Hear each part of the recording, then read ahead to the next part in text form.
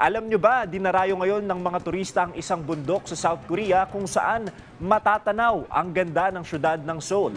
Sa mga litratong ipinadala ng Pinoy na si Kim Harold Peji, isang graduate student sa Seoul National University, makikita ang magandang tanawin mula sa Baegundae Peak ng Bukhan Mountain, ang pinakamataas na bundok sa Seoul, South Korea.